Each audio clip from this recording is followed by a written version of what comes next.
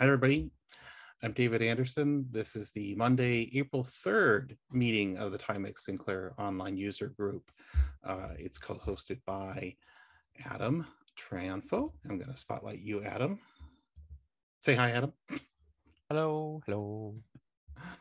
Um, today we have with us um, Bob Fischer. And Bob, I'm not going to, you know, take up too much of his his uh, intro, but Bob was a, a band uh, instructor, high school band instructor, and um, obviously he needed a computer to do things. I'll let him talk about those things, uh, and that led to him, um, you know, rewriting some software and selling that, and also to his use of Tom Wood's C uh, Profile 64 or 2068 database program um, to such an extent that he put out a couple issues of, of a newsletter called Extensions that had these various modifications to make the program even more powerful, or in, in Bob's case, work even better for him, which was Tom's goal in uh, you know in producing that program and, and part of the uh, what he talks about, what Tom talked about in the manual for the program was he wanted you to use it, but he also wanted you to customize it for your own thing. So with that, I am going to pass the spotlight over to Bob. Hey, Bob. Well, uh, well, first of all, I'll make a small adjustment. I was a high school band director. but I was mostly a middle school band director. Oh, uh, okay. Even worse. Uh, most, yeah, well, actually better because most I just got went crazy with how immature the high school kids were. So I thought, well, we're going to deal with immature kids. I might as well deal with middle school. So that's what I did. Um, anyway, um, I was very surprised when you know David contacted me because yeah, I don't know how he tracked me down. I mean, I, I changed addresses like six times since uh, anything he had. Uh, but he got a, he called me one day and I was like, who the heck is this? And uh, fortunately, he left a message and I followed up. Um, anyway, uh, I'm not sure, you know, all the people you've had with Timex officials and insiders, like, what the heck am I doing here? But I can go over some things I think I learned and, and things I did. Uh, one of the most important things I felt I learned from the Timex was that it is not the hardware that is the most important thing, it's the programmer. And even the programmer, it's not necessarily his his training and all that. It's sometimes just how um, uh, what the right word is here, tenacious, I guess. He is about working out a, a, solution. And I was not a skilled programmer. I was not a trained programmer, but I wanted what I wanted. I knew what I wanted from my grade book that I made eventually. And uh, I just kept sticking with it. And when people would tell me I couldn't do a certain thing, that the computer couldn't handle it, I just kept looking for solutions until I found one. Uh, my first computer was a Timex 1000 in 1982. I was about 33 years old, I guess, uh, because I couldn't see myself spending the 2000 plus dollars that my brother spent for his Apple II Plus. Um, I wouldn't spend, that's like, uh, like $7,000 now. I couldn't, I wouldn't buy one that, that much now. Uh, but I wanted to learn about computers and I thought the Timex might have been kind of a toy. My impression was initially before I ordered it, but I could learn on it. So I ordered that and the RAM pack. So 150 bucks instead of over 2000, that was a good deal. Uh, and then the following year, when the 2068 came out, I got kind of lucky that I walked into the J.C. Penney store and there's all these stacks of 2068s for half price. So I thought, okay, I'll get a couple of those. And uh, eventually added the micro drives. And I think it was Bill Russell did a magnetic ROM switcher. And that was a great thing for running Spectrum games. Um, and but I bought some useful programs for the 1000 initially. And that was primarily the grade books. I was a teacher, and that led to my doing some programming. Uh, my experience with every grade book I could find or read about, they all had the same basic three problems. Um, one was uh, the data display. You know, uh, if you're a teacher, you open up a paper grade book and you have uh, a two-page spread, and you have the names on the left-hand side, and you have summaries on the right-hand side and in between all the days of the grading period for adding grades or attendance. Of course, our grade books only did grades, but but the but the thing with the paper grade book, it was actually a great design because you could literally see everything at once. Uh, you can scroll, you know, you can move vertically with your eyes up and down to see how students compared to other students on a test or average. You could uh, move your eyes left and right to see how that student is getting better or getting worse. Uh, so it was a very good design that you couldn't copy on a computer, certainly not a 32 column computer TV screen. Um, so what most of the grade books did that I, I saw, they'd show you maybe seven names on the left-hand side of the screen and three to five grades going uh, grade columns going across. So to see all the names, you had to do a lot of scrolling. To see all the grades, you had to scroll the other way, know, left and right. Uh, not user-friendly at all. Now, I, my solution was to make two, two basic displays. One that uh, focused on the students. So I sat down and figured out you know, how many students can I fit on one screen. I didn't want any scrolling at all. And I figured out if I had 12 letters for a name plus the grade or their average, whatever I wanted to do, uh, I could show 46 names at one time. Well, the biggest grade book I saw only allowed 50 students total, and they couldn't be seen all at one time. Uh, mine was 46 students in, in a class. I could have more than one class at one time. So I was not limited to that number of students. Just that was just a limit for the class. Much like on a paper grade book, if you fill it up to 20, the uh, 35 or 42 names you can fit, you turn the page and continue on to the next page for the rest of the class. Um, for the grades, I, I made it where you could see one student at a time, but you can see every one of their tests and their average. And so I figured out how many I could fit on that screen, and it came to 68. So I allowed 68 uh, grades per student. Um, now, if you compare that with the Timex, which actually was the best of the other programs I saw, it allowed 50 students, each with up to 30 up to 30 grades. So not bad, certainly better than the rest, but not what I was really wanted. Um, so that brought me to my next, the biggest problem of all of them was the capacity. These are 16K computers. You just don't have much storage space, especially after you get the program written.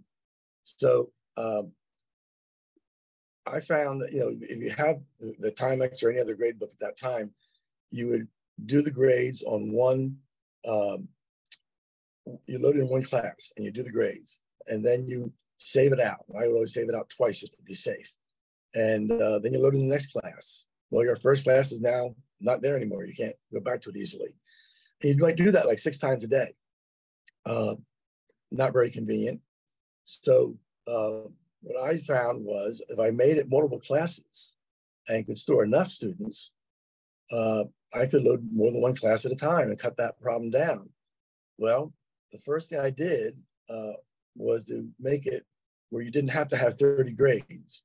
I mean, all the programs, whatever number they allowed you to have, it seemed to be locked in. So you could, so like Timex would have a, an array for a string array for names, 50 names, that was it. And then an, a numeric array for, for the um, uh, grades. So again, locked in for 30 grades.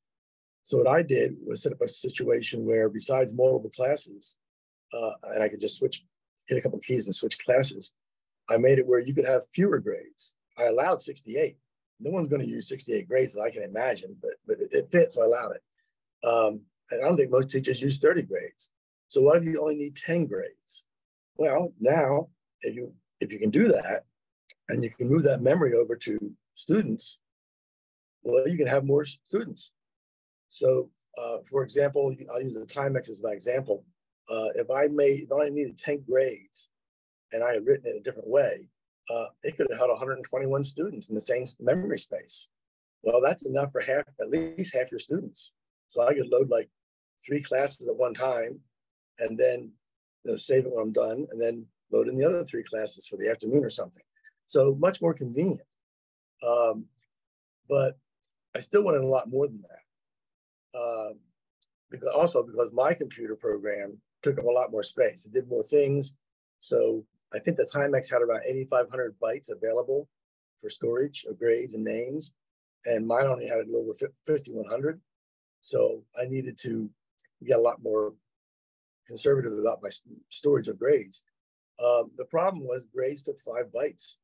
Uh, any, any number you know, in the computer took five bytes on Timex. So for the 30 grades the Timex allowed, that was 150 bytes of memory. That's a big chunk back then. So what I first did, I thought, well, why am I storing these grades as numbers? I could store them as strings. Instead of giving a grade of 100 as a number, I give a grade of 100 as a string. Well, now I'm down to three bytes. Now, all the grades had to be three bytes, so I keep track of where they were, but um, still, that's a 40% savings. So again, using the Timex example with 10 grades, I go from 50 to 121. Now it's up to 170. So this is really getting good. Uh, but I still wanted more. And so I don't know why I didn't think about it sooner because it seemed so obvious when I came up with a solution. But I suddenly realized, you know, a computer byte can store anything from zero to 255. I'm not going to give grades that high. So I would just store all the grades as one byte each. Well, now 50 grades takes 50 bytes. Uh, I mean, excuse me, 30 grades takes 30 bytes instead of 150. And on my program, even though it was, uh, had less free space, uh, I could go and uh, let's see, I think I had room. Okay, at that point, I could store 232 students at one time, divided into whatever number of classes I needed. Well, that's enough for a whole grading period. And I don't have to keep loading and saving all the time. Um, and if you convert to the 2068, it had five times as much memory for the storage. So I could hold over 1100. And if I use the 64K RAM pack on the 1000, I could hold seven times as much, over 1600 students. So I was storing the entire year's worth of classes. Like if I had six classes a grading period and there are six grading periods, I, I was storing 36 classes. And then, then it could allow me to compare classes as they change over time. I could calculate the uh, semester averages and yearly averages. So it just changed everything just because of the capacity.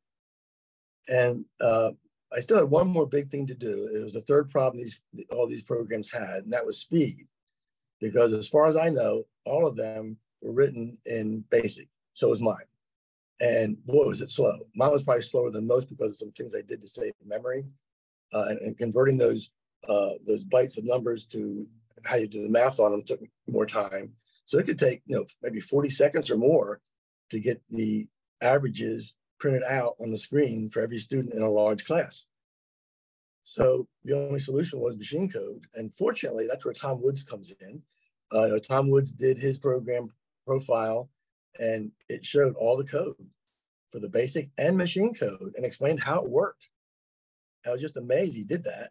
Uh, so, for example, one of the slow things is printing to the screen in BASIC. Well, he printed to the screen in machine code. I just looked at his code, made a few adjustments for where on the screen things were printed, and I was done. Um, calculating the grades, I'm not sure if he had a, a machine code uh, thing for doing numbers or anything, uh, but so I might have had to do that on my own. I just can't remember. But uh, once I had that, those two things, machine code for averaging and machine code for printing, what used to take 40 seconds or more to do, I could do in about a second. So I had the most capacity, I had the fastest. And as far as the displays, that's personal choice. But for me, I liked it. Um, the um, I got I used uh, another key program I used was the Hot Z program that Ray Ray Kingsley had, I believe. Yeah. Uh, and uh, that was a I thought a wonderful program because you, you could switch. With, I think with one keystroke you could switch columns. One column was to put it put it in the hex numbers, and sometimes that was faster for me. If I just, if I knew something well, that was faster. Uh, other times I wasn't sure of the numbers, so you hit a key and go to the other side of the screen, and you'd have the assembly language. So I love that program. Um, so anyway, so I sold it. Uh, I, I, not, when I got done everything and got everything machine code, I started selling it. I made, I didn't sell very many. Uh, I didn't do it for that reason. I, I, I did it for myself. Um, and I made what money I did make disappeared quickly because I um, uh, I did two things. One was I just want to make people kind of happy. So when I made my newer version, I sent out free free updates to everybody. And if I, you know, had their addresses already, so I just sent another copy out. And so, you know, I had to pay for the cassettes and the shipping and the uh, documentation. And then I also, since most people paid by check and most checks had phone numbers on them, I also um, called everybody I could and just asked them, you know, how'd you like it? What problems you have? What would you like to see different, added to it, whatever. So these were not short phone calls. And back then, 1980s, you're talking about paying long distance calls. And so I imagine any profit I made off that thing was spent just by phone calls. But I enjoyed it and, and people seemed to like it. So that made me happy. Uh, that was all I did with the grade book uh, as far as basic things. Um, I did, uh, yeah. Uh, Adam had a question, real quick question for you, I think. Okay. Um, so first of all, I'm not really familiar uh, with the Timex 1000 all that much. Um, so profile is it like a compiler or? No, profile, I, I should have explained that. Profile, I, I thought it was such a popular program, everybody heard of it, but profile was for both the 1000 and for the 2068. Uh, there, uh, you know, 2068 had more stuff, but it was uh, it was a database basically, a kind of freestyle database. You could mix things. It wasn't like certain things had to go certain places. You put anything you wanted, any place you wanted. It had 15 lines uh, that was you could put data in, and I, th- I, think it's one of the best programs that ever came out for the um, 2068 and the 1000. So, uh, so I guess I should back up. So you, your gradebook program worked with Profiler together? No, I, I took the profile program and the manual. Tom Woods put all his code for making that program. Oh. You can type the whole, whole, thing in yourself from scratch, um, and or make changes like I did later on. Uh, my gradebook simply looked at how he did his code and copied what would work for me. I see. I see. So, so like printing to the screen was in machine code, which is way faster.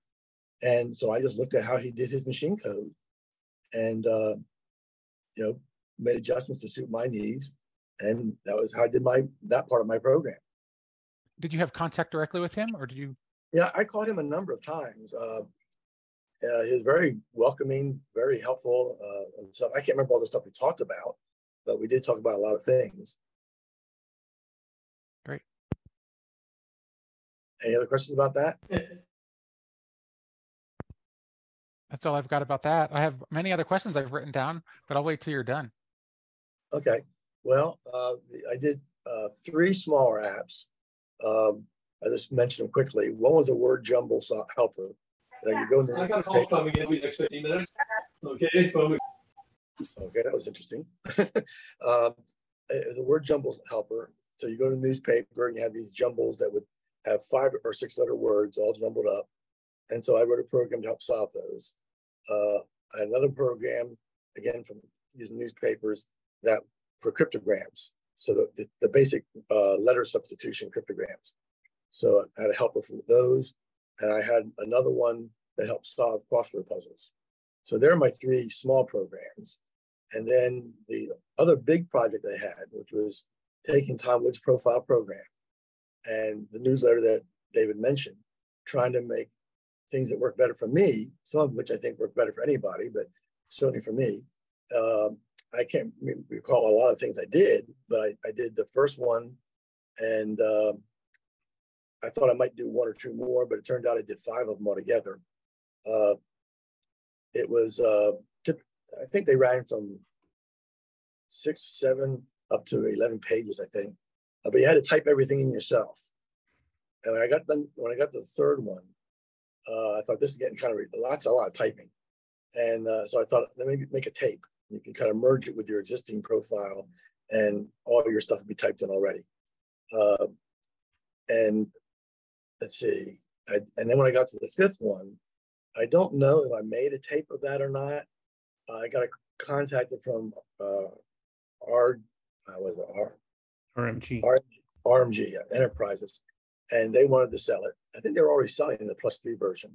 Uh, they wanted to get the plus five version, and uh, I don't know if they made a tape and they typed in the stuff uh, they typed for themselves, or if uh, I had already made the tape and they just copied that. But I, they, you know, I, am sure the deal was they would, you know, give me so much each one they sold. But I just said they could have it. At that point, uh, I was just happy to make it good for somebody else. And I might have been about ready to go to the Apple II Plus by then. I'm not sure if it was right then or a little bit later. Uh, but anyway, they they they were the only people selling it at that time. Um, it did some things I can remember. I mentioned the the maximum number of lines you could have was 15. Uh, I did some adjustments with their with their menu listing, which took a lot of space, and made it you do 17 lines. I think later I made it 18 lines. So that's a 20% improvement. So that was pretty significant. Um, let's see. Um, I think I might have done something with a machine code sort, but I can't remember exactly because Tom Woods and I both were involved in that. Um, there were things for uh, math I added in. Uh, I made some changes in how things are printed out. Like normally when you get when you print out a thing, at the end it would always print out search is complete. And so I made it where it would not print out search is complete. Uh, it didn't print blank lines between records. So you, print out, you know, a, re, a, thing that's completely filled up 15 or, or a number of line, lines you had, 15, 18, whatever version you had. Uh, it would start the next one right on the very next line, no separation. So I made it automatically insert a, a line, blank line in between. Um, a, lot, a lot of things like that. Uh, uh, let me see. There was I could you could append two files together if they weren't too big. Uh, you're still limited how much space you had total. Um, little conveniences like if you had names, people would put first, I mean, last name, then first name for advertising purposes. But then they had to do another line with first name, last name, if they were doing a printout for something. So I, I had a thing where you could, you did a printout, you could select an option that would reverse the first uh, two words on the first line. So you could save a, a little bit of space there. Um, uh, let's see. Um, um, a cursor wrap around to make it easier to get from one side to the other. Uh, yeah. uh, in other words, if you're on the if you're on the first position on the on, on, a line, instead of moving that cursor one thing at a time over to the far right hand side, you could just go to the left one space, and that would move it to the right hand side. So you know, just little conveniences that popped up as I went along. Um, and um, before I forget, there's one other person I want to single out as uh, very important to me anyway, and that was uh, Mike Singleton, who did Spectrum games. Uh, the ones I remember were Lords of Midnight and Doomdark's Revenge. And what I was amazed by those programs, especially with my grade book, because I was always trying to find a way to save memory. And he had this thing that had the first one had 4,000 locations with graphics. And the second one had eight, uh, 6,000 locations. I don't know how you fit that in the spectrum memory, but he found some way to do it. And then the third one, which I which never got released, but it was supposed to have 16,000. So I love to know how he did that. Maybe I could have gotten even more grades in my grade book, but uh, but he, he was one of my heroes. Never talked to him, but he was one of my heroes. Um, I think he died not too many years ago. Um, anyway, that's the stuff I've done for the uh, Timex. Gustavo, you have a question. Okay, now, hi. Um, do you have a plan to migrate your program to the Timex FDD, or you consider to to move the program to this platform when the time? I, I, I, I, not, I don't do any more programming at all, so I don't plan on moving any place. I don't think I remember half of what I did back then. Um, in fact, even when I was writing this, the, these programs, if I went back to them a month or two later, I'd think, what the heck does this mean? You know, I'd be very confused. But uh, what I what I did instead of when I, when I moved to the Apple II GS, by that time, you had a lot better programs you could buy, and uh, so the Apple II and all the and the PC and the Macintosh, I I moved my grade book to be um, on the spreadsheets with the addition of uh, keeping track of attendance. Now I got very complicated formulas to make that work. And sometimes they got so long, I, I had some special problems because of the length issues. But uh, I was very proud of those grade books too. But I, I don't quite consider that program. I guess in, in, a way it is, but I was just using an existing program and I haven't programmed anything since. Adam. Hi, uh, can you hear me? Yeah, I can. Yeah, great. I, I was uh, wondering if uh, how you were using it. Were you using it at school, at, at, like in a paper, and you'd write all the grades down on a paper, then come home and do it, or did you have like a computer at school? And did other uh, teachers at your own school use it? Well, at my school, I was the only person with a Timex. In fact, when I started with all this, nobody had a computer. And if they had their own, I, that I didn't know about. But as far as the schools, there were no computers in my school uh, for, at first. And then uh, I guess they worked out something where it was the vocational teachers had, I guess, some political pull, and all the vocational teachers got Apple II computers, hmm. and and uh, nobody else did. And uh, it was funny because they didn't know how to use them. I used to go to the uh, home ec teacher, and she got two of them, and they both sat in boxes. And so I said, "Can I set this up?" You know, I set up in her in her uh, little closet she had, so I could use it. But uh, she said, "Sure," you know. So I set it up, but she never used it, and she had two of them. Hmm. Um, later on, this the school got a computer lab, and they got the uh, you know the, what they call the trash 80s. They had those in there. Um, but what I did, I had one one Timex 1000, and I used that at school.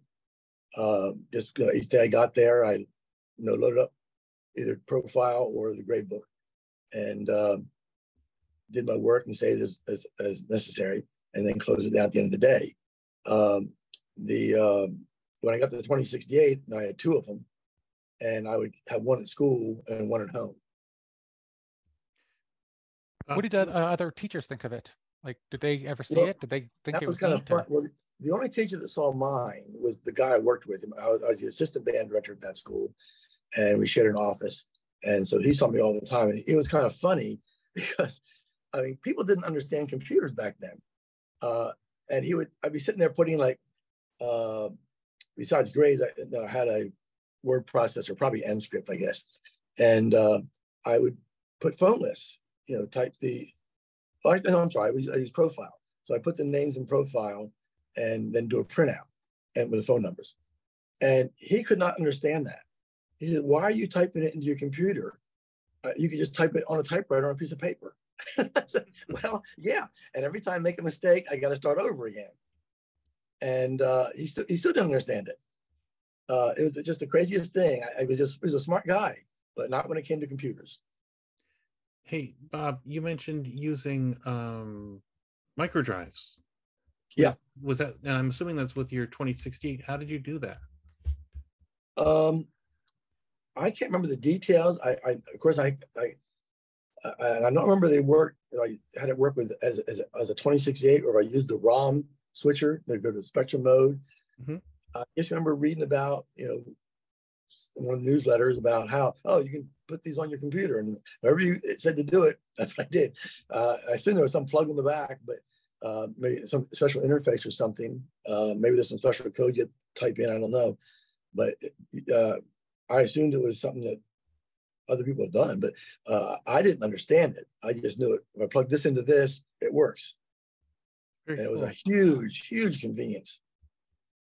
Yeah, yeah, yeah. Those things were nice if you had a Spectrum. cool. Does anybody else have any questions for Bob? Um, yeah, I have a, a couple more. If you don't mind. Okay, go ahead, Adam. yeah, I don't have a ton of questions, but I have a few. Um, well, I was looking on David's site for your program, but I, is it not archived or is it available? It is. Uh, yeah, I, I just talked to him yesterday about that. I mentioned to him that I had not seen, like for instance, extensions that I didn't find um, any issues and I, I'd forgotten so much what it did. And same with the grade book, I'd forgotten so much of what it did I wanted to actually see it. And so he had that time he had not put it up in an index or whatever, and he get, sent me a, a, link to the archive itself. And man, all the stuff that I did on that thing, I couldn't believe how he found this stuff. Uh, now, the grade book doesn't show you know, the code. Um, I, I thought at one time I did do that, but it's not there anyway that I could find. And um, the but the the extensions they're all you know, here what you type into your computer. So you're talking about the newsletter then, extensions newsletter? Yeah. Newsletter extensions. That was to make profile do more things. Okay. More, yeah, more capacity, so forth. But so gradebook, the program is lost then, like to time? The program itself, yeah, that as far as I know is lost unless somebody has a copy. And anybody wants to, I don't know, to sell it, give it away, whatever, it's fine with me. I mean, I gave it basically gave away extensions, so why, why not that too, you know? We're gonna have to track down a teacher.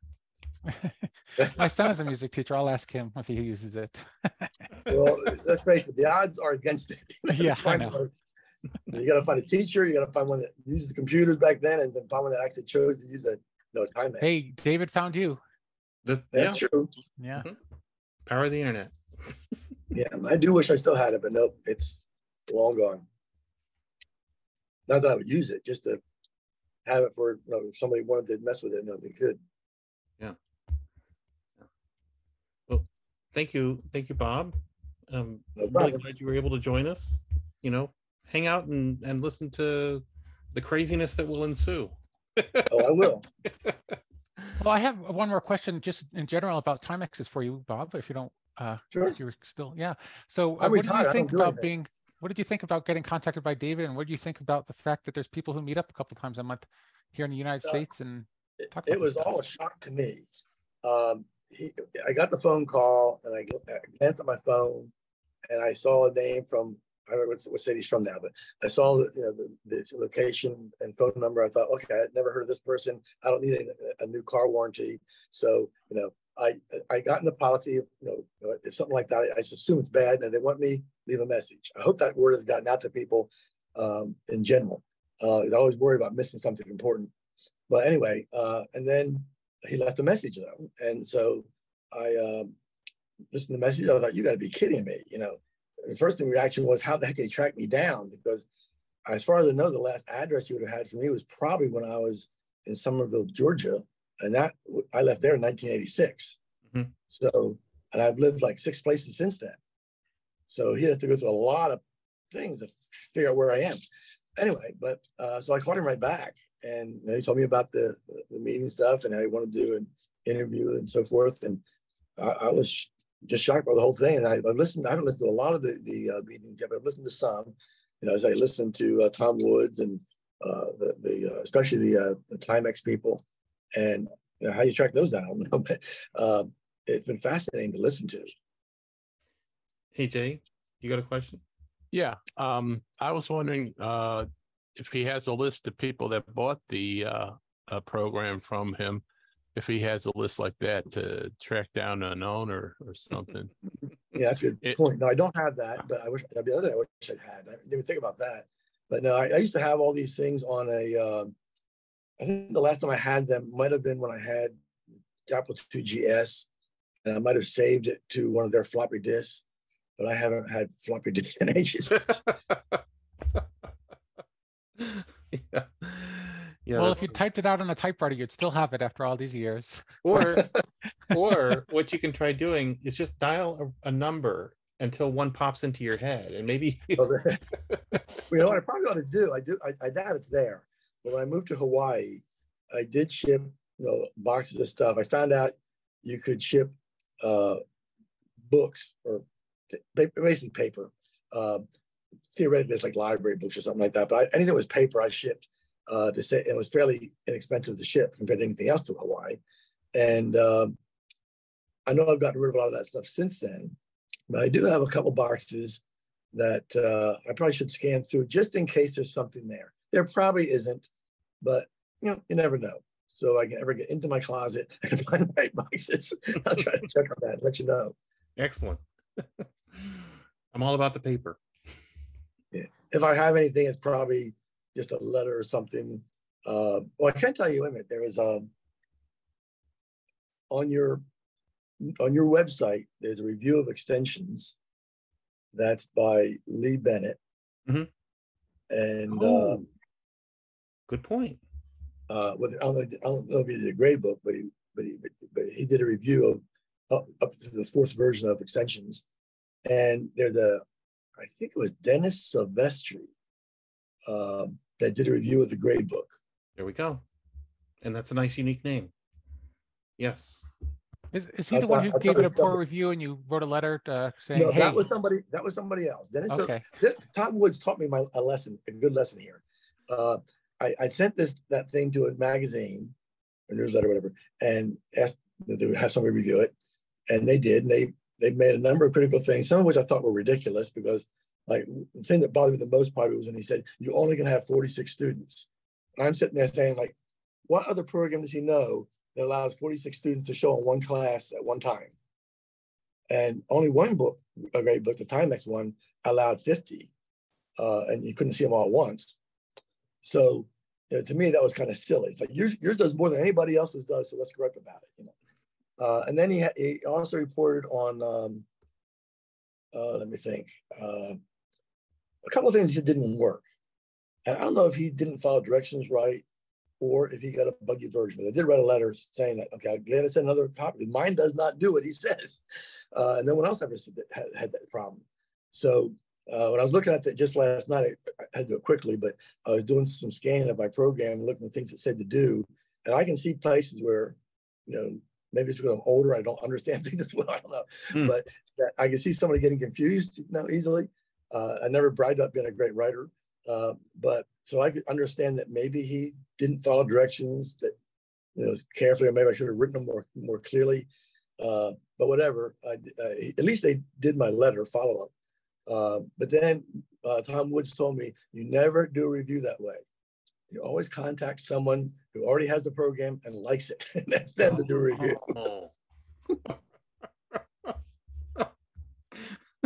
I didn't ask Dennis Sylvester to write a write one, but but that's the same kind of thing. he did write one. He was using it and he liked it.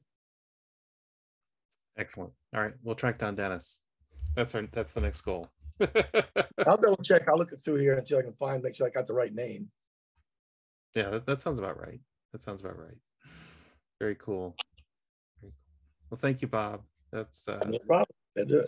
That's really cool to hear about how somebody you know actually used uh i mean it's amazing to me that you started with the 1000 you did so much with it you know and and adam is a new uh 1000 user he's learning how to to type on the keyboard and stuff yeah well i have a little advantage of what ryan uh lent me the like a keypad overlay or something so yeah right yeah i don't know it, makes, it seems to make it better but you know. mm-hmm. back then i was a two finger typist so uh I, I, don't know if i could ever type, touch type on that thing but is I that possible i don't I would imagine it's not. I would think it, well, yeah. I, I imagine you could theoretically you could touch type, but you, but it was very slow. You had to put more pressure on it. Yeah. Uh, but uh, yeah, it was that was a that was definitely a problem. I never had a different keyboard to use with it, so it was very slow. Yes, exactly.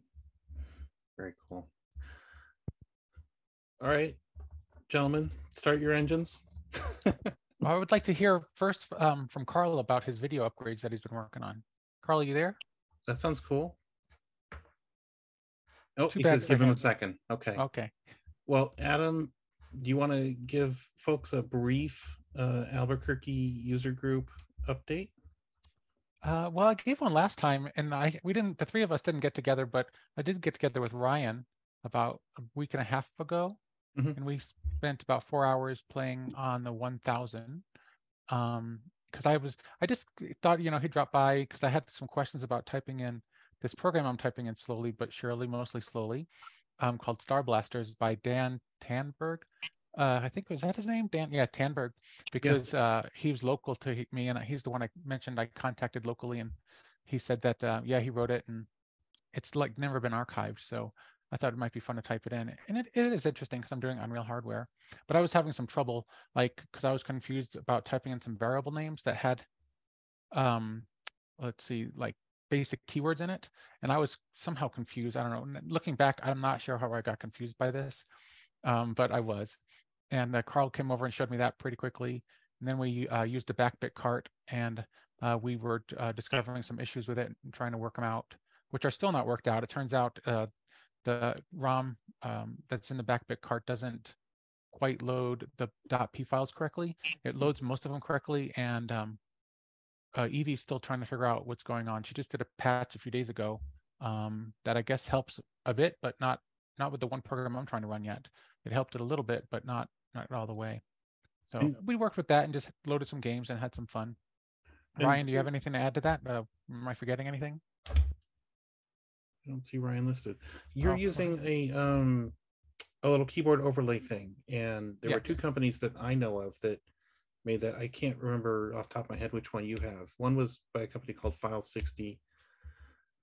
Little module you stick on your on yeah. your um, keyboard, and when it was new, it had self stick right. Apparently, this did. So uh, the, the story behind that keypad is that after Ryan uh, moved out and I guess went to college in the 80s, he um, passed down his Timex 1000 to I think he said his brother, if I got this right.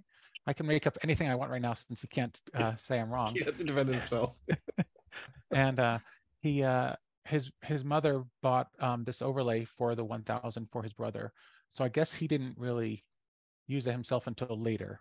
Um, and he, I guess it used to stick onto it, but it's not anymore. And it's mine's just stuck on with some masking tape, which works fine. It doesn't move at all, and it's it gives a lot more tactile feedback. I don't know how because it doesn't look like it should, but it's much easier to find the keys and I like it. I feel like I'm cheating using it, but um, it works. I'm gonna put. Uh, so this is uh, this is the other one. Is this button set? It was called. Um, and this is the color version. You have, from what I saw in your picture, yours is black yeah. and white. Yeah. Yeah, it is black and white. Yeah. Yeah. Yeah, that one actually sticks up a lot more. It looks like. Yeah. Yeah. I mean, I'm not entirely sure if they were made by the same folks or not. Um, but this one is this the one that was I think it was the file 60 that somebody in in the Buffalo area was importing. Well, one. David, go back up to uh it looks like the back of that one has like extras. Like the one I have doesn't have anything clicky like that in it. Oh, really? Okay. No, no. Well, let's let's pop over to that company and take a quick look. Man, that's a great website. Whose company? Whose website is that? Uh, that would be fine. and I've spent years, years. Wait, okay. So file 60 did the button set. So who did the other one? Second base. Okay. All right. So the second base was the. Um, I think that was the folks who had the U.S. right. Altoona was one of their addresses. I'm curious. Anyone else in this meeting right now? Does anyone have anything like this? Anyone else use something like this one? So that looks like what you have. Yeah, that's that's the one I think that Ryan has, okay. or that I have in my possession right now. Yeah. It's kind of funny because the enter key is kind of like the letters are kind of worn off. Like this one. Yeah, like that one. as a matter of fact. I don't think we have a bottom picture of this one. No, unfortunately not. Well, what I can do is I can uh, take a tape off, not now, but I'll do it maybe in this week and I'll take a picture of the bottom. Okay, cool. Yeah. Hey, Joe.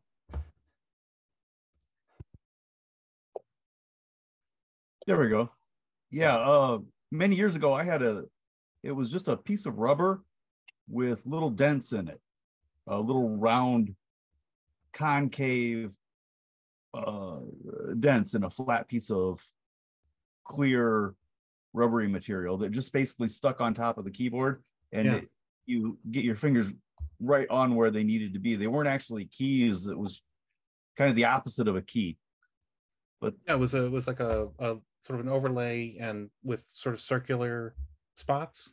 Yes. You, your fingers would sort of fit in. Right. Yeah. Help you center. Yeah. And it would help uh that helped a lot with uh with and, and was that homemade or you bought that? No, I bought that. Huh. That was uh advertised in Syntax magazine. Yeah. Like every issue advertisement. yeah, there were a couple of devices like that. There was a, a KD made one. Um I don't remember the name of the one that you're talking about. Uh but there was, you know, there were a bunch of weird little, you know, adaptation devices uh like uh, you know, like what you you're using Adam and what you had yeah. Joe, It just would, you know, well, it makes a little bit sense because they're like there's it was an inexpensive computer, and if someone could sell something with that that didn't cost too much, that would uh, give a little better quality of life, then you know why not pick it up? Yeah, well, and I did a I ran um, Dan Ross uh, uh, did a presentation at the Boston Computer Society to sort of announced the 20 uh the 2068 and the 1500 and that's up on youtube. And i downloaded the transcript or did i? I think actually there's no transcript. I ran it through a piece of software that does transcripts. And um that's one of the things he talked about. You know when they launched the 2068 was uh you know this huge cottage industry sprang up around the 1000 they you know recognized what you know what value that was how important that was to you know this is you know the sustainability of of the 1000 and they wanted to encourage that with the two with the 2068 so you know they they said it was going to be an open computer and you could you know get specs to, to add on stuff and and whatever. Um and certainly you know programmers were were given this sort of preliminary third party software programmers guide uh, for adapting you know writing new programs or adapting spectrum programs to the 2068 um, unfortunately they did not last but they were open for six months or well, less. if we don't really have an agenda, maybe uh, could I ask other people like some small uses of uh, like maybe add-ons that you bought for your computer besides RAM packs, I guess, that were maybe unusual that you used that maybe other people didn't have too much access to? Yeah, I'd love to hear about that. Not everyone all at once. Right, right. well, Oh, oh, Carl, wait, look, but is Carl ready? Remember, Carl was gonna. You asked Carl about his. Carl's ready. All right, so so let's we'll let Carl do his thing, and um, everybody line up with your with your uh, your stories of of accessories. Yeah, well, I'm still kind of fighting a cold, so that's kind of why I I, I haven't really messed with it too much. But um, uh, but you know, I kind of got into a uh, you know a whirlwind of doing that. So I've got the. Um, I wonder where Stuart is. I haven't seen Stuart lately, so I, I hope he got back from Costa Rica. Okay, I hope he didn't oh. get like uh, kidnapped or something. you know what they're doing there. anyway, the bright side, Carl. Well, you know. Um. Anyway, so I have his uh, that the ZX8 CCB that uh, uh, you know he sent me a few of those for you know so we could get Adam going and, and Ryan going and uh, so I tried one of those in Ryan's third and last uh, TS1000. And um, in addition to that, I had posted some pictures of, you know, and I think I mentioned it last meeting where I picked up some, uh, you know, the, the 555 timer um, composite mod, right? Mm-hmm. Now that doesn't have any type of adjustments on it, which is probably in hindsight not necessarily a good thing. You probably should have some adjustments on any of these things, just just in case, right? And so, um, uh, and to make a long story short, you know, I hooked both of them up, um, and so I could individually, you know, hook up each one and see what looked good, and uh, neither of them looked good. Um, even you know, now that I've done two of those, one in Ryan's and one in Adams, um, Adams obviously was to me the easiest one because I think he probably because he's got the latest ULA. He's got the 210 ULA in there, which mm. has the back porch on it already, and it's newer probably, and that machine didn't look like it was used that much, so it's probably it's probably a pretty fresh ULA, right? Um, I'm starting to maybe lean, towards some credence what, what Claudius was talking about that uh, you know he saw some of that interference that um, Ryan showed on the, the last meeting, and he was saying that was a the ULA was going bad, right? He was kind of mentioning that, and I was like, hmm, that could be uh, maybe what's going on. But um, this one seems to be the worst out of all of the ones I've done, right? This, so I'm thinking maybe this ULA is the worst. It's probably the most far gone. Maybe it's been used the most. Um, but well, well, Carl, are you getting a picture at all? Yeah, I can get a picture, but it's um like I said, with the with the one that Stuart sent me, the ZX8 CCB, I can get it, but the the cursor's all, you know, like the upper portion of it's kind of offset, right? It's oh. not a nice square K. Smearing. Right, it's starting to smear on the top, and I can't really get that tuned out, no matter what I do. So then I said, okay, well, I'll try the 555 timer one and that one was even worse. I mean, that had a crappier picture, right? And that since I can't adjust anything on that one, well, there you have it. That's what you get. and then, um, so I said, well, maybe if I take the output of one and put it into the other one and see maybe that'll help something. So I kind of started to cascade them. You know, I took the output of the ZX8 CCB and put it into the 555 timer one, and uh, well, that suffice it to say that doesn't work either, no matter which way you put it. That sounds like the Bride of Frankenstein, but the Bride of Composite Out or something. Exactly. Right. Right. well, I figured, you know, if I could get the CCB to work decently, maybe the 555 timer would, you know, kind of help boost it up and fix it, but it didn't work that way. Uh, then I said, well, hell with it. I'm going to take the ULA out and I'm going to pull, put one of my VLA 88, 81s in there, right? That I got. I bought two of those. And I think, I don't know, maybe I did something wrong. I don't know what though, but I think I blew one of the gates on the ZX8 CCB composite mod because it gets pretty toasty. The one, the one little gate. Um, maybe it's because the VLA, I'm thinking maybe the VLA 81 when I initially put it in, both of the dip switches were off. So that basically puts out a very high level. Supposedly you can hook it right to a composite monitor with those with those switches off, right? So it must have put out a pretty high level video signal. Um, and maybe that blew that gate out as I'm kind of what I'm thinking. But anyway, I'll have to either use another one or I'll have to get a, you know, buy a one little gate and and desolder it and resolder it on there. I'd rather do that than than waste a whole you know composite mod. But um, uh, in any case, uh, so now on the VLA81, you have two dip switches that control video stuff. Uh, the first dip switch, dip switch one, basically is the level, right? So if it's off, it's a high level, which is what I initially, you know, plugged it in and hooked everything up as. If you turn it on, then it's more like uh, what the ULA would put out. So if you wanted to use a composite mod or you wanted to use the existing video circuitry that was already there, that's the setting that you should leave it on, right? You need to turn switch one on. I tried that and still um, uh, wasn't really getting very good pictures out of the composite mods. You know, nothing that I would consider, you know, passable.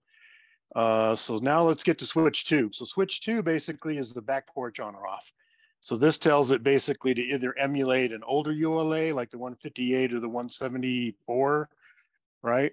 Or if you turn it on, it uh, puts the back porch on it. So basically it emulates like the ULA that's in, in Ryan's or in, in um, Adam's machine, the 210. Hmm.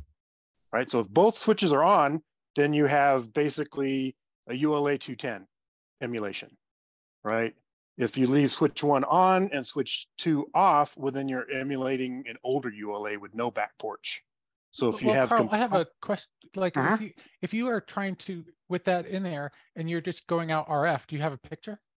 No, it oh, looks crappy oh. too. Yeah. Oh, now I have, have to say this. I have to say this. I have the best RF TV output with the VLA 81 in there than anything. You, oh. you it's it's it's very usable on the P, on the TV. I have it hooked up to like I got to take a picture, but it's like a 27 inch TV that I kind of use to hook these things up to. And, um, and this is a modern TV or an old CRT? It's an old TV. It's the one I I kind of said that uh, a lot of these things I'll get from the auction here from Bentley's local. We have a local yeah. auction here. They they uh, sell a lot of you know we got government here, right? I mean a lot of places probably have government, but they sell a lot of government stuff. And I think I got this TV from like a school uh, like a school must have went out of you know because it was on a cart like an AV cart you know like mm-hmm. schools have and it was bolted down or maybe it wasn't one of them but anyway I get a lot of TVs from them because they're cheap. I mean nobody buys them they're like a dollar right? Now you just got to go get it and cart this big old cart home and now this TV in particular yeah this TV in particular is a Philips but it was obviously I think it came out of a hotel kind of environment because it it was locked down. When I mean locked down is you know you can't change channels. You turn it on. You can only do like volume up and down. You can't change the channel. You know, it was locked. Yeah. Now they make a remote that I bought that I basically unlocked it. Right. I made all the features available again. So now I can change channels. I can, uh, you know, do stuff like that. But there's a lot more features in there that you don't get on a regular TV set. Hey, Carl. Right. That you can lock down. Yeah. Gustavo has a question for you. Oh, okay. Yeah. Sorry about that. Go ahead, Gustavo. Hi. Hello. No, it's uh, for the group too. Uh, do you know if exists any documentation regarding the Timex uh, timing regarding the, for example, how many clock cycles has between the interrupt and, and, and the vertical and horizontal pulse and all the scanning? Uh, um, I, I, I think, I don't think there's anything per se from Timex, right? Because it's all you know the 1000 is basically based on the ZX81, right? So, yeah. and the ZX81 was already designed from the get-go to obviously work on 50 or 60 hertz because it has that uh, it has that pin, right? That that you either ground or you leave open, which tells it to, to go 50 cycles or 60 cycles. So if you actually leave it open and you go to 50 cycles, um, you know, the, the, the TS1000 is a lot faster. Yes, no, but right. in this case, the, the ZX81 uh, use uh, the creation by software. Uh, you receive an interrupt and then the Z80 move the data to the to the serial shifter. That yeah. is by, by software, create mm -hmm. the, the video. But my, my question was uh, focused on the Timex, the 2068, because oh. I, I, have the, the, the, timing, but get for the scope in my house. Uh, my question is, is exist any official or any another uh, source for these specific values? Well, I have seen some stuff on the video in the, you know, the Timex technical manual. Yeah. You know, they do talk about timings and stuff like that of the video signal in there. I don't know if it's specifically what you're looking for, but that would probably be the best place, I think. To look for something like that for the 2068. No, yes, no, no, I need more deeper in design because I try to to to to get the the full full documentation for the SCLD. I have the counters, I have the scanning counters, and also the timing is correct for 60 hertz. It's different for the 50 hertz version. Mm -hmm. The, the, mm -hmm. the count is different. And I have documented all the information, but only to be sure that the, the information I collect for my Timex is correct. That is only to match uh, my data with the another person or another document mm. that was. Well, you know, you might want to you might want to cross-reference it with the, right. the the PAL 2068, right? The one that's in the Portugal computers, because that one that one does have a pin on it as well, right? For 50 or 60 hmm. hertz. The, they're huh. they're the same chip. Yeah, and you could you could buy the 2068. Paul, I think Paul Holmgren probably has one or two of the of the Portuguese 2068, and you know you I have one of that. You could buy them um, from English Micro Connection and a couple other folks in the United States in 85 ish. Um, so yeah, there's, you know, there's some here and they were, and, and, and Joao from the LOAD ZX um, Museum has talked about how uh, Tony uh, Gomez from the, the Portuguese Timex came to the United States with the aim of trying to get FCC certification for that uh, Portuguese Timex. That didn't. Mm. Nothing ever came of that. You know. I know I, I see one new name here that I recognize as new, and that's Michael. Michael, I'm a, I'm not going to even try to butcher your last name. Right, uh, but I'm going to ask you to unmute and say hi, if you don't mind. last name is Druckenmiller. Druckenmiller. Okay. You got it first try. All right. Sounds German. Druck. Uh, Pennsylvania Deutsch. Oh yeah. Mm-hmm. Uh, yeah, I am. Uh, I don't know if I'm the oldest guy here. Uh, probably not. I'm 70. Uh, joined the Navy at 17, but I got 42 weeks of uh, aviation electronics technician training in Millington, Tennessee. Uh, served my six, got out, worked a myriad of jobs. Uh, learned to program in uh, Visual Basic when I was at Intel so that I wouldn't transpose numbers I reported to my engineer. Uh, it was so much easier for the computer to gather data using GPIB. Uh, I got. I mean, like, can I ask you real quick? How did you get into the Timex computers? Uh, I had always had an interest of, of microprocessing. And uh, of course, nothing that I was interested in was within my price range.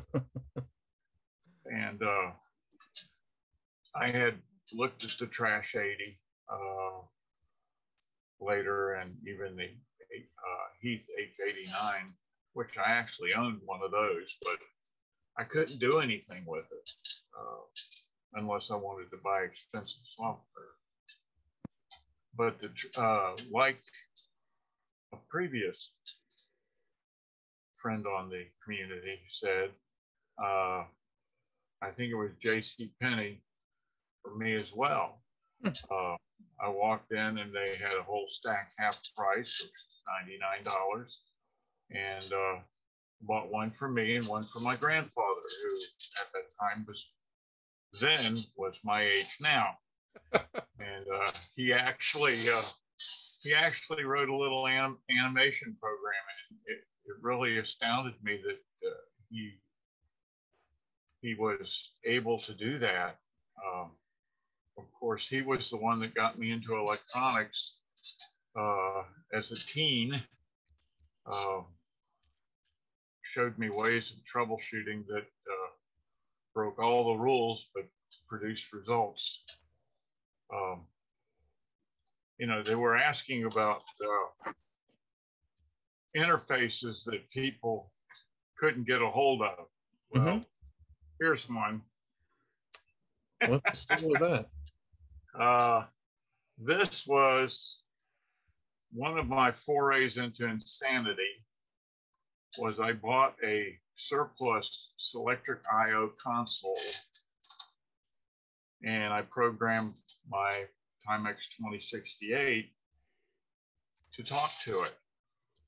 Basically, I, uh, and I'm still trying to figure out how I did this.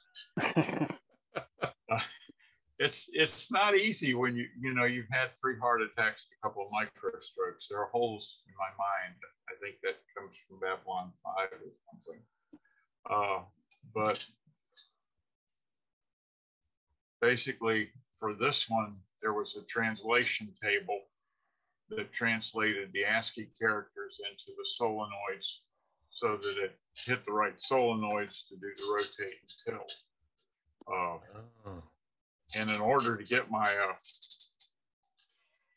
oh my gosh, in order to get my uh, bus connectors, uh, I salvaged the, these. I got two of these back planes out of the trash when I worked for Burroughs. they just happened to be the right connector pitch. Uh,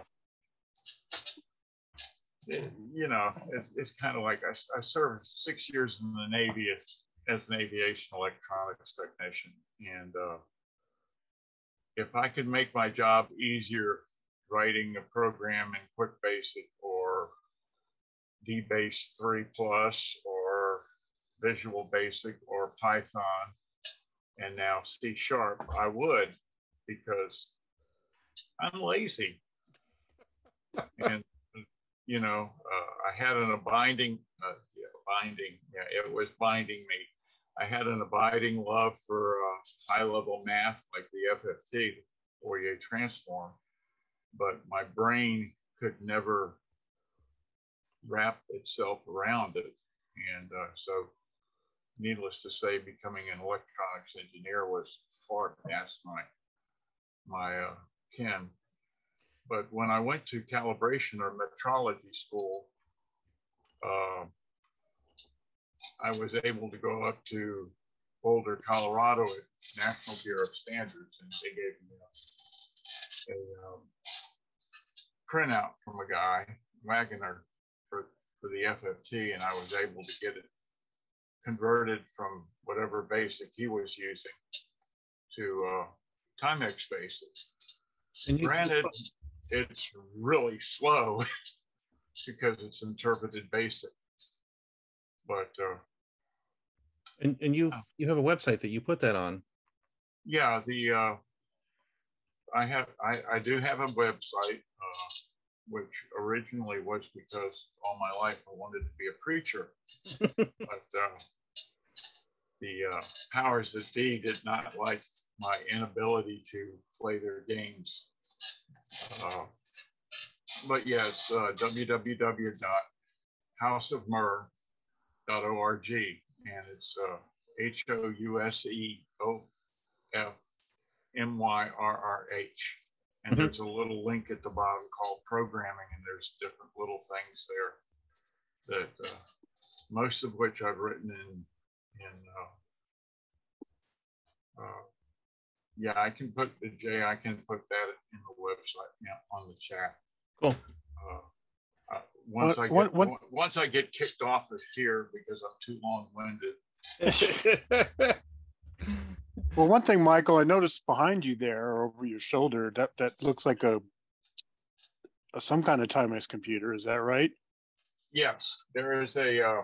Because uh, it's not silver, so that must be a Portugal machine. No, it, it is silver. It's oh, okay. It's just the camera. Wrong angle. Okay. Yeah. yeah, it's it's been gathering a lot of dust because my Timex aspirations uh, sat in a box in a dusty place for say 30 years, which also accounts for some of my uh, inability to remember things. Well, what what uh, made you dig it out and uh, bring it back and join? I don't know a Facebook group or join us. Um, I've always been interested in figuring out what I can do with the Z80. The Z80 is my preferred microprocessor. Uh, at Intel, we use 8032s. Uh, at Dixie Narco, we use 6809s. Uh, fortunately, I was on the hardware side and I didn't have to make all those changes. But the Timex Sinclair was the first Z80 machine I had, and I wanted to I wanted to dig down in the guts and find out ways of expanding it. Now I couldn't at the time I had neither the time nor the money spared out to do much of anything. So life got in the way and uh, I just didn't go any further with it. So now I'm I'm fully retired and fully bored, and I've got to find something to do, or I'll go start raving mad. So uh, the other side of the coin is there's there's another group called called the RC 2014, which is also a Z80. Yeah. And they have been doing all kinds of things uh, that I want to find out enough about to transfer them to the Timex community because it's a little more of a all-in-one than the RC 2014, which is mostly a terminal computer. And the Timex, I've, I've got actual video and a keyboard standalone. Yeah. So, but yeah, I, uh, I, I tend to write and solve my own problems because most people don't think or talk or communicate like I do. And so I've written my own disassembler, my own assembler, uh, so that I understand it in terms that my brain can handle it. So that's really cool, Michael. Thank you. Uh, no, Jay, Jay wanted that uh, website if you could maybe to throw that in the chat. So I guess it would be easier for folks to. Yeah. yeah. To to. You know, some some of you guys can chew gum and walk at the same time. well, you know, the same is true about talking and typing. Um, may I right. add something? Yeah, go ahead, Paul. Back in 87, when we had the show, one of the gentlemen that was showing his 2068 with 256K of memory worked on the initial avionics for the F 16. Was that um, oh. Bill Peterson? Uh, uh, William Peterson. Yeah, yeah. Okay, I mispronounced his name. Very cool. Yeah, that that was uh, something I did while I was working at uh, Raytheon in Orangeburg. Uh, they built the modules for the radar on the F-15, and my job was to put them on the uh, tester and uh, verify that the girls doing all the soldering didn't have any solder bridges. cool. Thank you. Thank you, Mike. Hey, so Jay, I, oh, not Jay, Joe, I saw you raise your hand. when Adam um, uh, asked about accessories. My favorite accessory of all time. oh my god! oh my god! What is it? It is a it is a Byte-Back, uh, eight bit I/O. So you could do input and output from your TS1000 and actually control things in the real world. These are relays that uh, you can use to control uh, whatever you want to put on them. I, I, I did a Christmas tree light display, yeah, way back in the day, uh, so that we, you, you know, you could turn on and off eight different strings because this this actually went to a uh, another relay board which had larger relays on it, so I could string together a bunch of different strings at once. But it was eight, eight different sections could light up and shut off based on a program. And uh, I wish I still had that program, but that's one of the things that got lost in a, a basement flood years mm. ago. I had, I had, a whole box of printouts and tapes, and uh, my ta- original tape deck was all was all ruined. Mm. Flood, but I, this this was this was in a box that was on a higher shelf, so this got saved. And I also had the uh, associated. I was going to ask. Yeah, the analog input, but I don't have the documentation for this anymore, so I don't remember how to use it. and I have not been able to find the documentation for that. But you could uh, you could plug an analog signal in there, and uh, this plugged into the top, and it would be an A to D converter, and then you could get readings of that analog signal. Uh, you know, digitally, yeah. digital number representation. But you had uh, programming. I don't know if you can see that, but you have programming resistors in the back to set oh, the yeah. levels and uh, some jumpers up front and some dip switches. So yeah, there was quite a bit to setting it up. And I don't have that information anymore, so I don't remember how to use this. David, you don't dis- you'll disappoint me if you don't have it on your website. Come on. I don't have the main, but I know oh. exactly what both of those things are. Okay. So so Byte-Back was one of the first companies to make accessories, and that relay module was their first module. And then the the Hunter board, oh, nobody yeah. could live without the Hunter board. You could swap in either ROM or RAM in here, and it sat between the eight and 16k section, and uh, it's battery backed up, so you could shut your computer off and the static RAM would remember your program.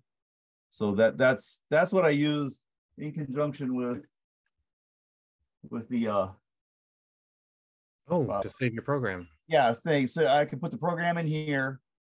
Uh and then when I wanted to run it, I would just run a really short uh program to move it from here up into the regular memory and then then run it. I would love that documentation. there might be something on the Byte-Back that that IO board. Is there, David? Some, is there a schematic of that? I, I think I have the IO board information. Yeah, but I think that's already been. um uh, Yeah, I'm sure uh, that's probably already out archived. There. But yep. it was the A to D converter. It, the yeah that A to D converter is a is a piece of mystery meat, as it were. Yeah, and then this is the uh, um, Gladstone, mm-hmm. Mm-hmm. Gladstone Electronics keyboard and case. You know, it's all nice little metal project case. That was Did you have to put that together yourself? Um, more or less, yeah, yeah. Looks it like was, it. yeah. But the all the keycaps are plastic, clear plastic, so you can pop them off and put new labels. New and this yeah. is from back in the 80s, or this is yeah, yeah. This, that's, that's oh like wow, yeah, that's pretty good.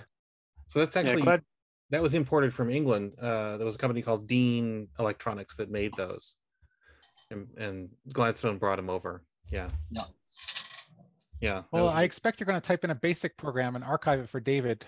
He's got that keyboard.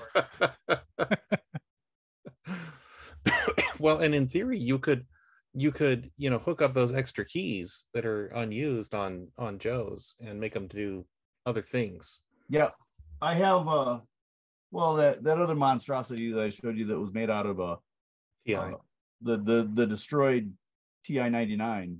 That one had the little circuits. I added those to add the extra keys, so that I had real arrow keys that were just arrow keys. That's that's my favorite. Mm-hmm. Yep. Um, hey Tim, uh, Swenson. I'm gonna ask you to. I'll ask you to unmute. uh, Paul Holmgren told me, Paul, what, a couple weeks ago that you have, Paul has everything that was left over from was it SyncWare News, Paul?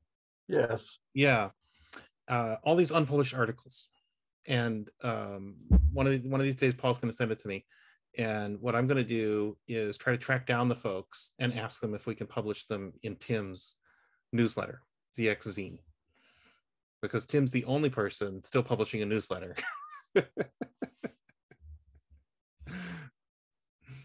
so we'll give you some material. Oh, Tim's not there. We'll give Tim. We'll give Tim some material one of these days. Well, Yeah, that reminds me, do is- um, go ahead. All that's left to do is get the exact weight. And I did some preliminary looking. Mhm. And You can classify that as uh, computer material or media. Yeah, It might be the cheapest way to ship it. yeah. Ship it media mail. Yeah, which is what um, which is what Bob was was saying earlier about sending stuff to Hawaii. If you ship it media mail, it's the least It's about, expensive. it- it's about twenty-five pounds, but the- Yeah. anything over, you know, you can go a tenth of a pound over and they nick you Mm-hmm. Mm-hmm. on the next one. As long as it's all pretty much paper, because I know, I know I've bought stuff from eBay and people have used media mail to send like computers and shit. So I mean, if the post office opens it up and says, "Hey, this is this is this isn't media," they'll they'll you know probably screw you there. But uh, Yeah. I'm I'm just saying people have taken advantage of that, and I I don't know how how bad they're cracking down on it. Well, at least in this case, there is a lot of paper. Okay, there you go. so we we have you know uh what 30 year old articles to look forward to Uh, you really probably have to get there. Go ahead. When Basil Wentworth closed shop, it, you Yeah. know, a lot of that stuff ended up here. that's hilarious I was going to say, do you really have to get their permission to publish that, or? Or... no but Uh, i think it'll be part of the part of the amusement value of True. Okay, I can Okay. track the folks okay. down and, and then we can get some extra uh you know extra information from those those authors about their their setups and you know i think that'll be amusing to to have True. True. um, you know, I just uh, thought of something. Um, I actually am wearing my Timex T-shirt. Uh, I'm going to stand up and show it real quick because I don't think I had it last time. But oh this is nice the look one. at Yeah, that yeah. This is the one that David designed. Um, what I don't know. I got it. I think I might have had it the- before the meeting, but I didn't wear it. So yeah Yeah. yeah i can't remember who who asked for that design If- was that maybe ryan that liked that design or was it yeah, you? I think so. Yeah, okay okay it was Ryan. So, Well, it's good. Good to see some people buying that stuff. That's good. And I know it was kind of nice to, you know, to have some merch because I know, you know, seems like every other little cause has merch, right? So. i do what i can for you. So did anybody else have um you know accessories that they bought for their uh their computers back in the day that they want to talk about? Or any other subjects folks want to talk about Well, there's something I would like to talk about since I'm type. I don't want to talk about it myself, but I would like other people to t- talk about it. So I'm typing in um, a program, which I've mentioned already this time, and last few times I've said I'm going to. At least this time I started. Um, I, I'm curious how many people here um, maybe typed in basic programs back in the 80s and um, in two different ways. I wonder, like, if they typed them in knowing basic, and so they Mm. typed them in out of magazines, or they just blindly believed that what they were typing in was going to work, and hopefully they didn't make any errors. Uh, those are my two questions. because if you didn't know basic at all and you were just typing in a program, I don't know how, how well it would work out for you because you wouldn't know like you were mistyping something really, you know? Anybody? Get it, Ada. Tell us your story. You're gonna have to unmute though. Oh.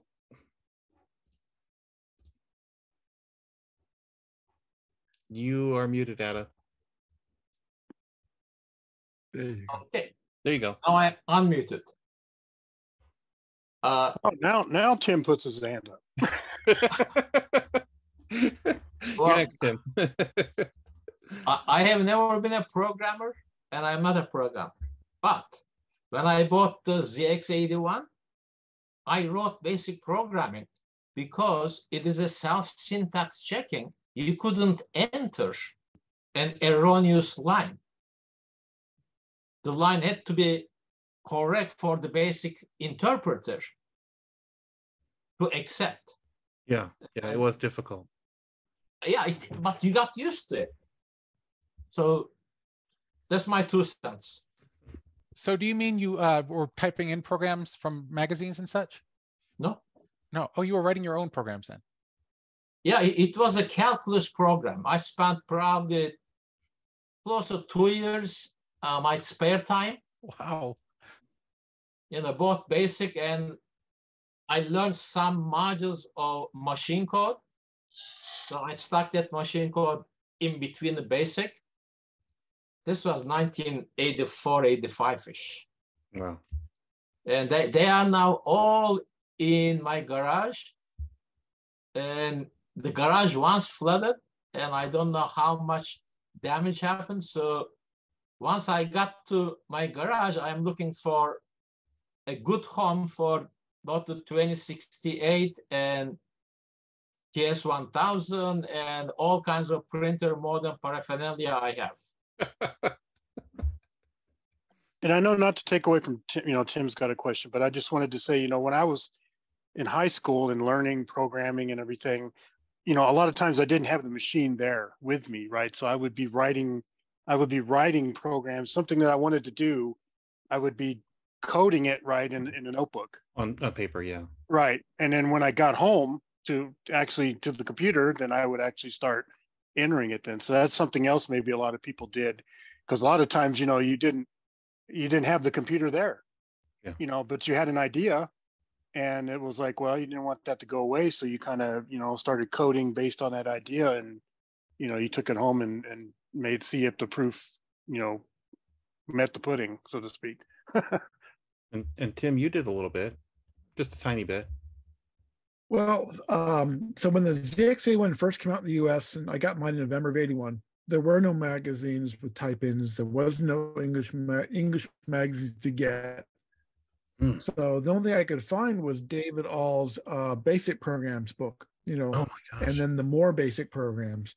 And those are all teletype type programs. So I had to learn how to translate from that to Sinclair Basic. And then if I wanted to, how to add graphics. Yeah. So it wasn't just a straight type in and it's going to work the first time. It was a read it, interpret it, type it in, give it a try, and then kind of play with it a bit to see how it worked. Well, and and Tim, those were all written in like DEC or HP Basic, which had things like you know left and right and mid string. Mid-string, Yep. Yeah, and you had to translate that to the you know to the Sinclair way.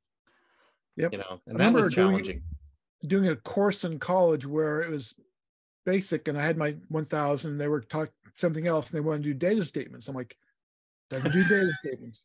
Right. So I did string slicing. So okay, I don't have data statement, but if I type in this long string and then slice it up, I get the equivalent of data string of a data Yeah. statement. And the guy's like, okay, yeah, I mean, you you, want put the effort in. you had to be really creative, and but it, you know Yeah. it, it let you do some cool stuff. Yeah, and then you went and wrote a, pro- a program and sold it. How, did you? What you sell a few copies? One or two, something like that. that's that's one or two more than many of us did. I will say. I'll buy it. I'll, I'll buy a copy. I did go through the process of filing for a fictitious business statement, filing for a local business license, that whole process, a home business license from the city of Fremont, uh, all that sort of stuff. So I was I was officially legit. I went and got a tax license from the state board, the whole bit. That's cool. That's really cool. And you you dug up a little bit uh something about it, like uh printout or screen capture or something. Yeah, I found uh, one screen capture from a print I did. It was in a, a old photo album I ran across. I think you've got some. Um, the I created a page one. for you because you were a business. You know. yep, MTD Software stood for Mike, Tim, and Doug. Yeah. Very cool. Very cool. And I'm still in contact with both of them. I'm actually I'll see one of them next month, and yeah, next month sometime. You you guys should restart the business and and start programming for this. it wouldn't be hard hey. to double your sales. Exactly, yeah, it wouldn't be hard. Yeah. You you have a captive audience here, Tim. I think I wanted them to join me, but they never did. So one guy had a Coco, one guy had a Vic 20, and I had the 1000 or the ZX81. So yeah. we had a variety. That's awesome. Cheers. Yes. Hey Jay, tell us your tale. Um, I I have a whole bunch of peripherals for the 1000 to 2068. Um, I I don't know if I've mentioned it before. I've gotten the whole memo Memotech uh, series uh, add-on. Yeah, series. I had the um 64k RAM. Um, I had the serial interface, the Centronics interface. I have the uh, HRG. Mm-hmm. I have the keyboard. Uh, and is it is it the blue keyboard or the black keyboard? Yeah, it's a blue one. The blue one. Mm-hmm. Okay. Yeah, aqua aqua blue over there. And uh, I think the letter W went uh, out. I'd like to fit. I, I, would like to get that fixed, but anyways, um, I, have got the ZX printer. Um, I uh, what else did I get? I got the Byte-Back um uh, real time clock that that you can put on both the 1000 and the 2068. I, I had run a, uh, the, a CAS board from Kurt Casby uh, with the 2068, so I used the t- uh, real time time clock to timestamp uh, things on the 2040 printer when people called in. Oh wow! Wow. Yeah, I, I, added a little code there. Um, I took a pie chart program for the 1000 and adapted it for the HRG graphics. Um, I, I, had to put it into fast mode when it drew the stuff because uh, otherwise you'd be sitting there forever. Um, I thought that that was nice, but the thing is, the, the, the pixels for the screen and the pixels for the printer are uh, different sizing. I had more of an oval on the printer, mm-hmm. but it it was rounded for the uh, TV screen. Yeah, very so uh, on the on the 2068, I, I bought all of John McMichael's uh, software there. I had the 1520 printer interface. I had the QualiPad. Um, I have the FDD 3000. So, uh, Jay, let's you just you just I, mentioned I something this, that a lot of folks probably don't know about, and so John McMichael um, figured out how to uh, interface the Commodore 1520 pen plotter, which is this little printer that it printed on paper that was about uh well the the radio shack had a printer just like that exactly yeah, it was it was i had both of them and the yeah. atari too yeah and the atari i used to have the atari one for my yeah atari. a lot of a lot of companies did that because they all use the alps mechanism alps mechanism yeah yep so but but the commodore you know serial was pretty easy to figure out and so what what uh, john did was uh hooked it up. He, I think he actually built a little, you know, uh, interface board. Yeah, and, I have uh, that.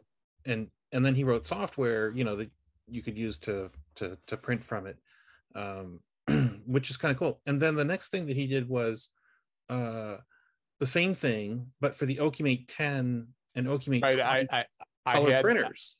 I have those. I I have the uh, I have the I think I got the 10 and I got the 20. It was a nice improvement with the 20, yeah. but the problem now is you can't get you know the proper paper for, or the, the, ribbons for for the ribbons. You know, it's oh. a wax type thing. Yeah, it was a very unique kind of uh, printing mechanism. It was really Oh cool. yeah it would it would be nice to get. I remember printing off from that, and they, you had some nice uh, graphics. But if you don't have the right paper, it it looks like kind of faded out with with yeah. the proper paper.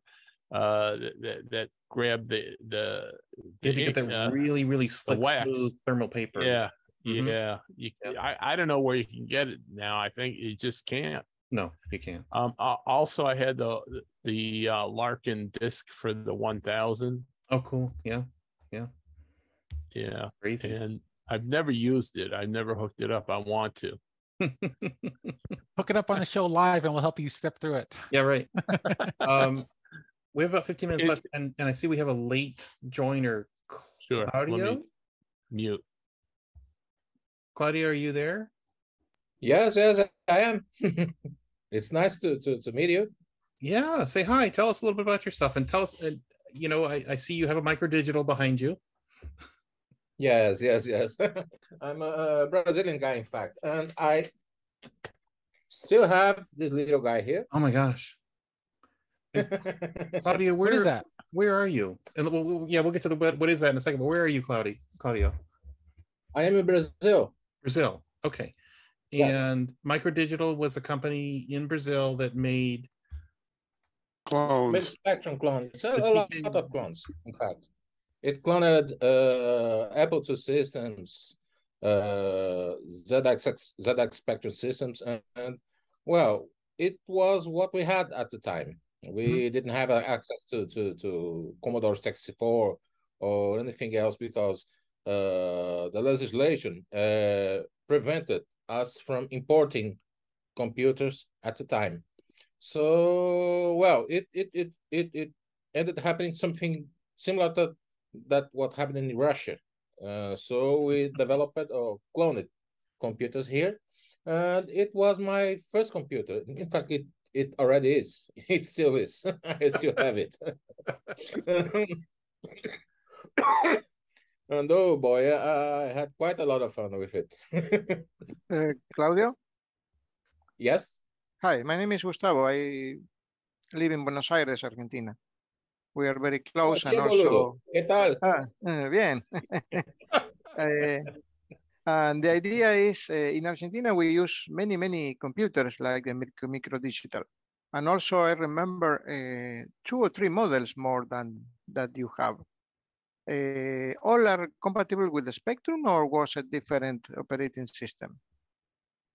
Well, we had uh, TK82C that was ZX81, uh, TK85 that was uh, ZX, ZX81 also.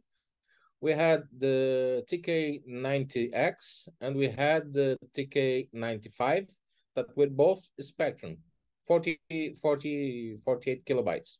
Okay. The Okay. ZX, uh, the, the, the TK90s X uh, had two versions, one with 16 kilobytes and one another one with 48 kilobytes. yeah. Did Right. you guys have Uh, the? I think it was the CP four hundred. Was that a micro? Yes, it, it was a, a TRS uh, color clone. Yes, but but the, but the it, it was not about from it. Microdigital. It was from Prolo- Prologica. Prologica, okay. And the and the unique thing about it was it was what you said. It was a a a Tandy color computer clone, but the case looked like the 2068, the Timex 2068. Yes, yes. it's very it- it- bizarre. uh, uh, the, the the TK95 uh, is a Commodore keyboard. Was it really? Yes, yes, yes. Uh, let me see if I can It's- find. Here we go. CP It was gorgeous. It was a fantastic machine. Uh, The 95 was a was a Commodore keyboard. Was it a bread bin case that they just put a Spectrum into, or what? no, uh, it, it was not exactly a, a Commodore. I, I believe it was. a, uh, I'm trying to remember the, the, the correct Commodore model here, but uh, uh, Maybe it was I a maybe it was a 16. It wasn't a 64, but maybe one of the later ones, a 16, maybe. No, no, it, it, it was the, the, the 64 Oh, the- it- um, uh, 100. It's Uh, the let me check. um shoot. I recognize this. Plus I'm four? up on the screen. You you'll recognize it in a second. Um oh crud. I gotta get it right. Plus right after. four, Sorry. Commodore Plus plus four. four, maybe. Yes, or the 16. Uh Yes, yes, yes, yes. Uh, plus four. recognize that? Um, Yes, yeah, of that's the plus four. Yeah. Yeah, yeah, but that's no, America, that's yeah. that's the you know the TK95. Oh, it is. Yes, Yeah. yes, see, Awesome. It says Micro Digital TK95, and they took you know they took the plus four case and keyboard and did their thing, and then the Prologica Does that look familiar? Yeah. How did this never come up before? well, but the innards are a color computer. You know, they're they're not Well, a can't have everything. yeah. Here's a Yeah, here's a ProLogica with a nicer And Radio keyboard. Isn't that crazy? Wow. Do, do people fun. collect all these things, or how many of them are there? I mean, Yes, and, and we collect not only uh, uh, uh, ZX Spectrums, Apple IIs, but our, uh, also MSX. Uh, you know, Yeah. I don't believe this, this this platform is quite common in in in, in the United States, but it was quite. Uh, yeah, let me see. Just Was a second. Just Yeah, a- yeah. yeah, the closest we had to the MSX here is the ColecoVision Adam, right? I think. No, the Spectre video. have Remember the Spectre? Oh, video? yes, that was here. true MSX. Yeah. I don't. Oh, let me deactivate the the the the, Yeah. the Yeah, right. filter. Uh, just a second. Classic problem. oh my. Where is it? Where is it? Where is Yeah, it? the, the MSX was really popular in Japan and, and Europe, and interestingly enough, in um, you know, in Arab Oh. countries, there's a lot of of of uh, MSX Can computers with Arab keyboards. Oh, that's a hot. You got to focus on them because it it's Oh, just sorry. you, David. Okay, I'm sorry. It's a hot bit. There you go. Can you Very see it? Yeah, Yeah, that so looks is like that an a clone of the MSX. Sony Hitbit? Because that Kind was of, released yep. this year. Bit. hot There bit. was But I- a, a Japanese computer that was called Hitbit, but it's not a Hitbit. It's a hot bit. you know, because it's That's a what warmer happens. country. It's a hot Yeah. bit. yeah. South America is, is way hotter.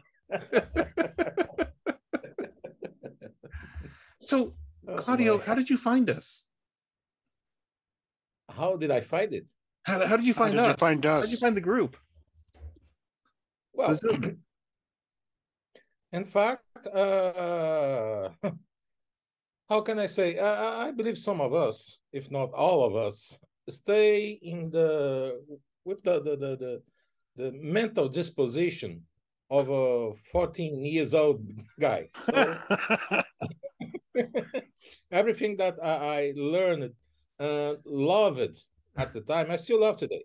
So, well, I was looking for people like me, hmm people who like to. In fact, I still write code today for retro platforms, Mm. and I have some some different solutions here, like this one. Oh, what is that? Ah, this is a, an FPGA based computer. Oh, nifty. David's gonna build one. it- No, no, no. I'm, I got plenty of those.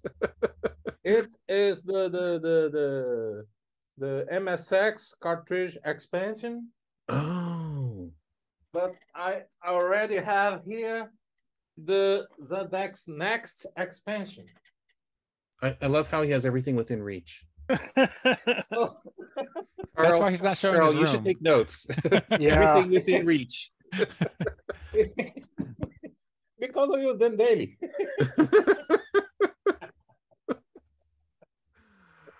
Oh, Oh my, where is it?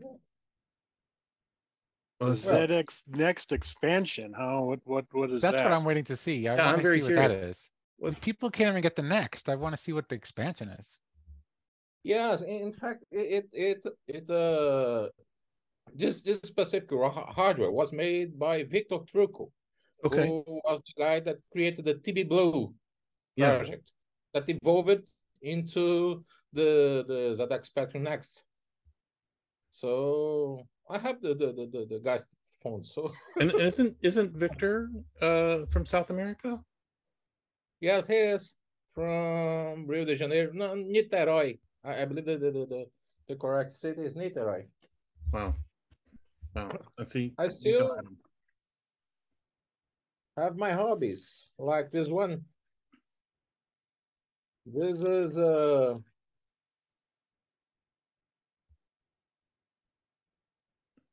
I received it today.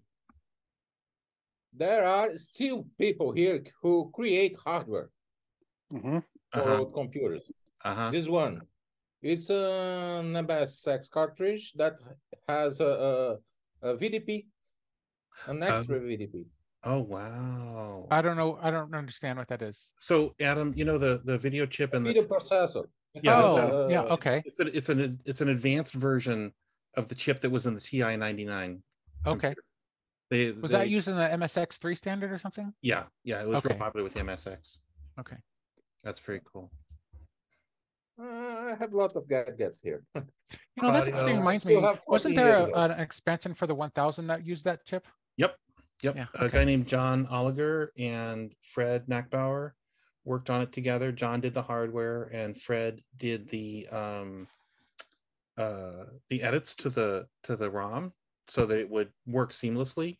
So, you know, you plug these two cartridges into an ex, you know these an expansion board and um, you'd activate it and then all of your you know timex video well all of your timex text and graphics whatever would go through the uh, the 9918 and display you know in color and stuff and you wouldn't have the flashing that you're experiencing with the 1000 because oh, it doesn't yeah. redraw the screen I that don't way. dig that at all. Yeah it's very yeah in slow mode it's very frustrating on the 1000 as you have discovered yeah well i'm actually glad i'm discovering that because i haven't programmed on the 1000 before or well i'm not programming on it i'm typing in a basic program yeah so it's interesting to find um and use it as someone would have used it 40 years yeah. ago yeah. So I mean, you're you're getting the firsthand experience of real hardware. So yeah, yeah. yeah.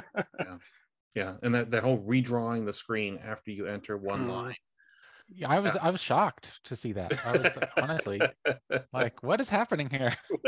I was like looking through the manual today, going, well, how do I turn this off? I'm, i know there's a way to mm. turn this off. No, Mm-mm. no, and and actually, Adam, the the that was an improvement. The ZX80 was all fast mode, and so you know you'd type stuff in, and the screen would be flashing like that, like in fast mode. Um, uh, because it didn't generate the video signal. I can't remember exactly when it when when it did its thing, but you know, when you typed, it would stop generating the video signal. Um, and I think that there was some processing points at which it would not generate a video signal. So So wait, you were typing in the dark? You couldn't see what you were typing? No, you could see, but what oh. happened oh. is that the screen would flash every time you yeah on the yeah, ZX, ZX80 didn't have slow mode. It was always running it fast. Yeah. Oh. That was an epileptic test. Yeah, right. that's what well, I was saying earlier. Adam, yeah, I had that pointed so that that's why today. I said I can't. I can't do that. Yeah. Yeah. Yeah. Claudio, uh, get on the uh, groups.io list. Um, it's it's in the comments of of the videos uh, on YouTube and and come back because we love the international perspective. Gustavo, well, I'm, I'm, proud of David for accepting him because now there's a waiting room, and who knows, you know? Now... right, right. well, I took a risk. I took a right. risk. I was like, hmm, this doesn't look like a a risky kind of guy. um, yeah, yeah, come back um, because we, you know, we'd love to hear about your programming projects. Um, thank you, Bob, for sharing. Uh, you know your your days as a, a middle school band instructor, programming a, a you know teacher's grade book. Um, and Mike, thanks for for joining us and telling us about your your crazy experiences. Mike and I have actually been emailing a bit. He tells me what's going on, and he's also very active on Facebook. Um, so, uh, and I'm wrapping up is what's happening. It's it's ten fifty nine, and the bar is closing. My bar is really open. it's really too bad that we don't have that class uh, that class program still somewhere. That'd be uh, well, really interesting to archive that. But mm. you know, hey, that, it is what it is. But um, um, Bob looked up looked up the name, and it was Dennis Silvestri, and and I think I have enough information to track track him down. Hopefully, he's still around and still has has a collection, and we'll see if we see if we can get him and and get that preserved. so what? What? So what eventually did? Because I know you said you you mailed a lot of cassettes out to people. Uh, so all that Timex stuff, you just uh, threw that in the bin at some point in time. Oh, you're still on mute. Yeah, Bob, let me uh, ask you to unmute. Where did you go? Okay. There you Now? Go. Yep. Okay. There you go. Um, I don't remember exactly when I got rid of it. I, I know I had a lot of old stuff when I moved to Hawaii. and That was 2002. But um, I remember at some point I thought, whether it was that stuff or other stuff from Apple II, I don't know. But I th- got to the point where it's like, why am I holding on to this for? And then I was tiny little, tiny little apartment. Things are too expensive in Hawaii to have anything big. And so I finally got rid of a lot of stuff. But I might have got rid of the Timex stuff even sooner. I don't know. Yeah. Yeah, probably. Yeah. Well, dig dig through your uh, dig through your boxes and see what you can find. I'll check. Cool. Cool. Can I ask Yeah. one final question of you, Bob, before you Sure. unmute? Uh, how long did you use your program? When did you stop using it? Well, that's a good question. Um, I'm not even sure when I first wrote, started uh, wrote it, where in the sense it was useful, but uh, I assume it was. Well, it almost had to be in the 1982, early 83 range because I did get the 2068 and I ported it to the 2068. So I had to have already, at least most of it had to be written. Um, and uh, so let's see, I, I know I was still doing the extensions program uh, in 1987. So uh, therefore, I was still using my Timex. Mhm. Uh, and then sometime between 87 and 1990, I bought the Apple II GS. I've been trying to rack my brain. I lived, I lived several places. I kind of picture myself in front of the computer. What computer was in front of me? And I, can, I know in 1990 I can see that Apple II GS, but what what I can't imagine what I was using before that. And I, I said it's like three different places I lived, and I can't even picture it. Hmm. That's I can't picture either one. That's the problem. I, I guess the last thing we have to wrap up, David, is the next meeting. Yep. Next meeting is uh Sunday. Let me just skip ahead a bit. April. Um wrong calendar. Okay. Uh I hope it's not Easter. I, would, I hope I don't have it set for Easter Sunday. Well, I think Easter Sunday is the 9th, right? That's I next Sunday. so. Yeah. Yeah. So the Sunday after that is the 16th. Yep. Yep. Sunday 16th. That's thank you very much. Um and Well, no, the 16th is Easter, right? Oh, no, that would be no, it's on the- Orthodox it's on Easter. the That's, 9th. the, that's the Orthodox Easter, sorry. oh okay. Okay. Yeah, because I was gonna Oh, say well, Easter well. should be next Sunday or this coming Sunday. Yes, yes, Yes, this coming nine. Sunday. But our next meeting is April 16th at 2 p.m. Eastern time. Um, and uh, Chuck Durang, who wrote the manuals for the 1000 and the 2068, will be joining us. So if you have any complaints about those manuals, he'll be there. I think I think Ad, Adam's gonna geek out because he's. well, you know, I actually thought he was on today until just a few hours before the meeting, uh, and I and I took out the the book. I was going to be like, okay, I have a question for you, but a little late. yeah no he's got some cool stories about about how he sort of fell into into doing those manuals um and it'll be fun to to hear him talk about that and then you know talk about whatever af- whatever we want to after that on that note gentlemen Thanks it's again. been a great evening and um Yeah. we'll see you in two weeks ish